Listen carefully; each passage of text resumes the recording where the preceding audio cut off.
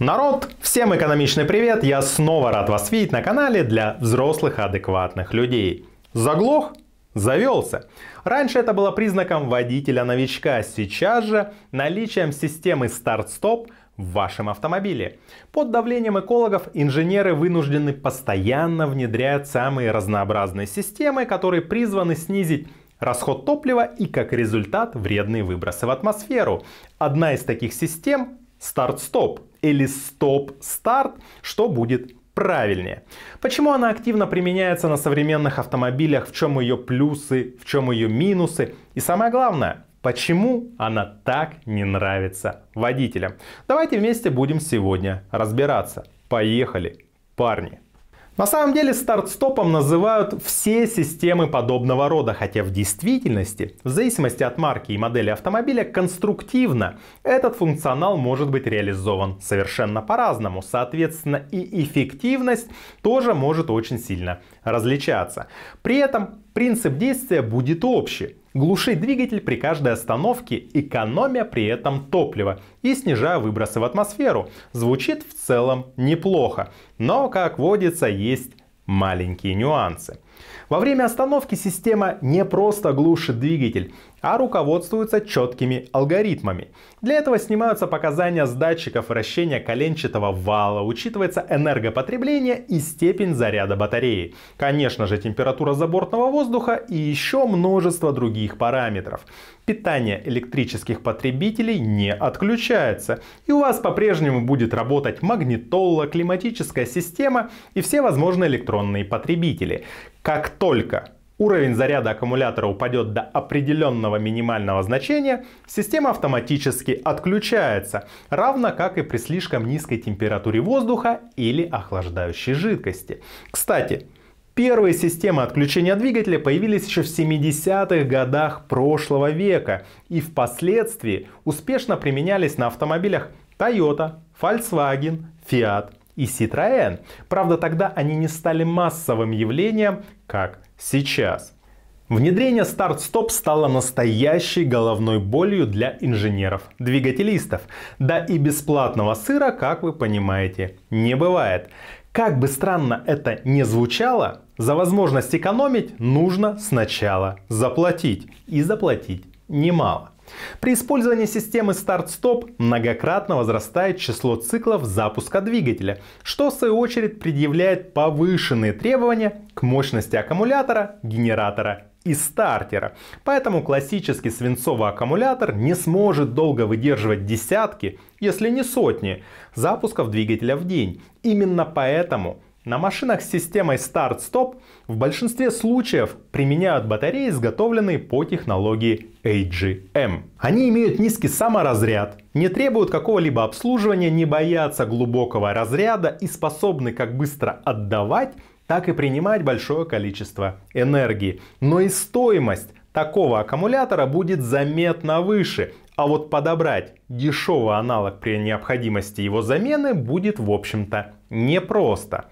То же самое касается и стартера. В режиме старт-стоп запусков может быть сотню в день. Естественно, скорость износа механизма при таких нагрузках возрастает.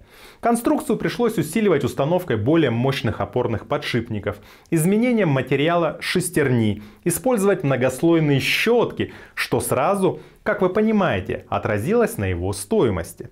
А новая эволюция стартеров под систему старт-стоп вообще подразумевает постоянно включенный стартер. Расцепление шестерен не происходит. Он проворачивает коленвал при запуске, а далее работает как генератор. Цена подобного стартер-генератора, как вы понимаете, тоже совсем не гуманная.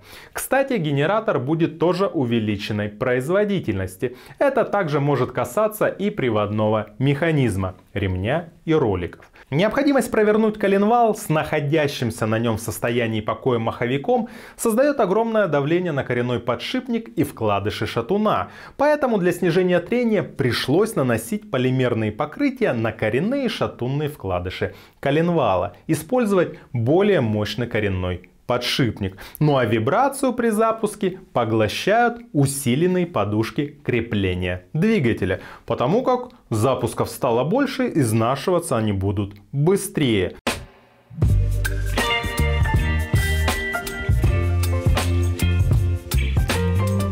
Друзья, мы с вами много говорим о грамотной эксплуатации и техническом обслуживании автомобилей. Я рад сообщить вам, что теперь вы можете приобрести у нас не только качественные рецептуры моторных масел, но и качественные автомобили напрямую с аукционов Японии или Южной Кореи. Наша команда поможет выбрать автомобиль под ваши цели, задачи и бюджет.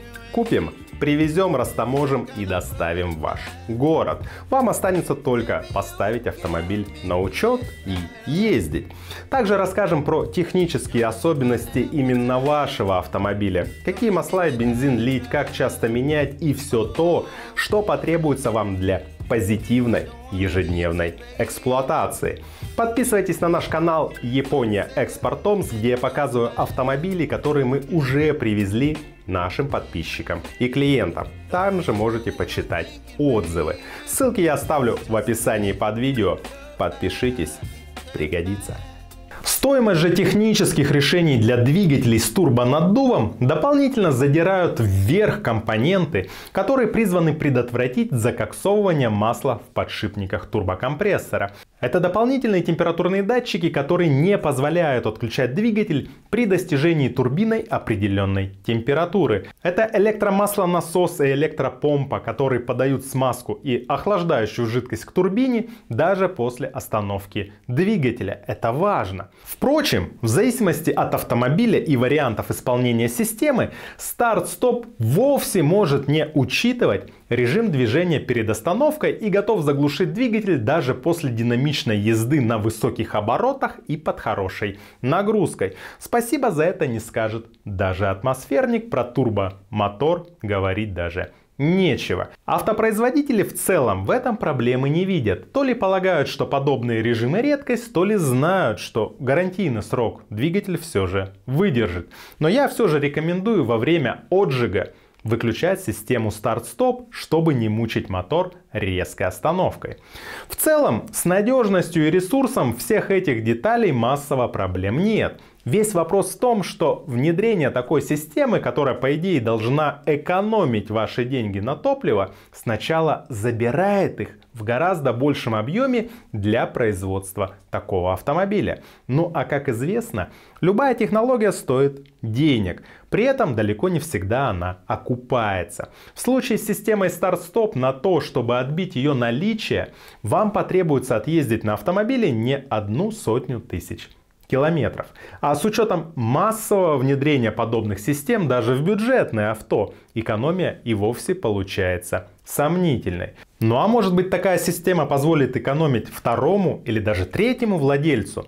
Конечно позволит, ровно до того момента, пока не потребуется замена АКБ или, не дай бог, стартер генератора. Все, что наэкономила система, придется отдать за более качественные и дорогие комплектующие для ремонта а то и больше. Кстати, а что у нас там с экономией? На что мы с вами можем рассчитывать? Заявляемая автопроизводителями самая оптимистичная экономия топлива от 2 до 10%, которая получена при проведении стендовых, даже недорожных испытаний по европейскому циклу запаса хода NEDC, который в 2017 году сменили на более реалистичный WLT P. Но так или иначе при толкании в городских пробках с частыми остановками, заторами, светофорами с помощью системы старт-стоп реально сэкономит ну плюс-минус пол-литра топлива на 100 километров пути. Правда при реальной эксплуатации, например дизельного двухлитрового Volkswagen Passat, который показал снижение расхода топлива аж на 100 мл на 100 километров пути. Но это не все вопросы, которые есть к этой системе. Многим водителям не нравится, что старт-стопные автомобили откровенно спят на перекрестках. Да и с экономией топлива, как мы поняли, уже получилась беда. Журналисты немецкого Autobild взяли на тест 15 автомобилей с системой старт-стоп и поставили простейший эксперимент. Они решили замерить задержку старта со светофора. Иными словами, в расчет брали время разгона машины до 20 км в час при включенной и выключенной системе. В первом случае двигатель на светофоре был обесточен автоматикой, а во втором работал на холостых оборотах как обычно. И что же получилось? К примеру, до зачетных 20 км в час Mazda CX-3 разгоняется с автоматикой за 3,15 секунды, хотя без нее делает все то же самое всего за полторы секунды. Система ухудшила разгон вдвое, скушав 1,61 секунды, что на забитом перекрестке просто вечность. Немногим лучше дела шли у Volkswagen Polo, Задержка составила 1,48 секунд. Ну а Hyundai i30 задержался на светофоре дополнительно на 1,12 секунды. На этом фоне потеря всего лишь 20% выглядит уже шикарно. Именно так показались Audi A4 и Porsche 911 Carrera. Ну а Mercedes-Benz GLS 250 Fomatic Вообще красавчик. Он задержался на светофоре всего на 0,8 секунды. Но и стоимость такого автомобиля сами понимаете.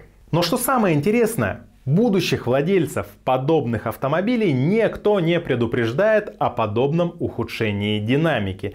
А на оживленных перекрестках это может быть очень важно. Вы просто платите деньги за инновации, радуйтесь и не думайте о том, сколько природных ресурсов дополнительно угробили при производстве всех вот этих вот наворотов. И сколько плюсом за это вам придется заплатить. Система старт-стоп нужна только производителям автомобилей. Она помогает им вписаться в жесткие экологические требования при прохождении стендовых испытаний. Все, никакой другой функции она не несет.